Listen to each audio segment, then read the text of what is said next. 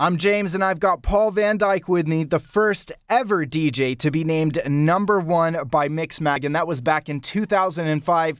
Hasn't shown any signs of slowing down since then. Paul Van Dyk, how's it going? I'm very good. Thank you very much. Are you excited to be coming to Dubai and to the UAE? Always. I mean, you know, every single time, um, you know, I, I came, despite of like obviously the beautiful place and everything, it's also like amazing events, uh, amazing shows, and uh, that's why I continue to come back. Of course, that's and you know what? A lot of people say that just because the weather, the vibes, the people. There's just there's too much positivity here, and uh, and I can see that you're feeling that as well. So you're going to be performing at Helter Skelter at Zero Gravity for uh, the fifth of April. Yeah. And uh, and so what I wanted to ask you was, all right, you're coming here to the UAE, you're going to be visiting us. What about the rest of, or I guess once we move into the summer, summer 2018, in terms of touring?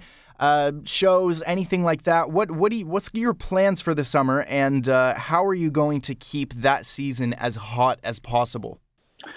Well, the thing is, like, obviously, I'm very passionate about the music that I play, so it's like keeping it as hot as possible. To quote you, uh, is is not the you know the problem. I'm always really excited about uh, the music in itself. In regards to the the you know the big summer season coming up, obviously there are a lot of festivals in the calendar um, that we're going to play. Then there's the whole Ibiza season again, and uh, you know a lot of like shows all around the Mediterranean. Um, you know when it's getting warm when it's getting beachy, when it's getting holiday, there's like you know a lot of like um, of these venues actually open in the summer.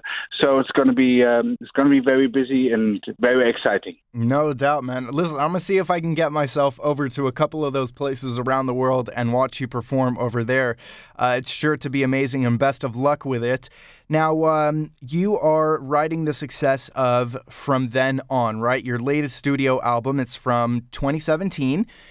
Can you perhaps tease? Do you have new music, maybe a new album, anything that uh, that you're planning on putting out in 2018 that you could uh, kind of hint at?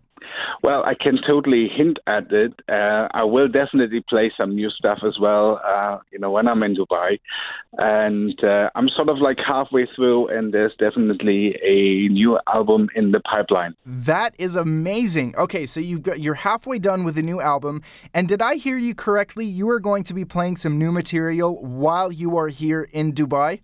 Absolutely. The great thing is like, you know, how I play. I don't use like CD players or turntables. I basically have a recording studio on stage.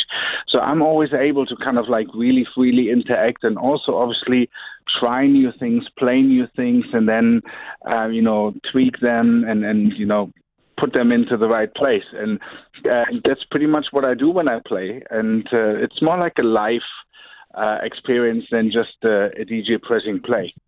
Oh my gosh, that is amazing. And it's so cool that we are going to get the first taste of it here at Helter Skelter Zero Gravity, the 5th of April. Paul Van Dyk, we are super excited to have you come in. We can't wait to see you. Anything else you'd like to say before uh, we wrap this up? Well, it's going to be a really special one for me. And it's like, you know, I try to bring that across to everyone who's coming out. So I invite everyone to come and join me. Of course, we'll all be there. We'll all be there. I'll be the first in line to see you, man, and I'm sure that uh, the rest of my friends and the team here at Dance FM will be doing so as well. Thank you so much for taking the time out to speak to us, man. Thank you. Have a good day. You too. Ladies and gentlemen, Paul Van Dyk.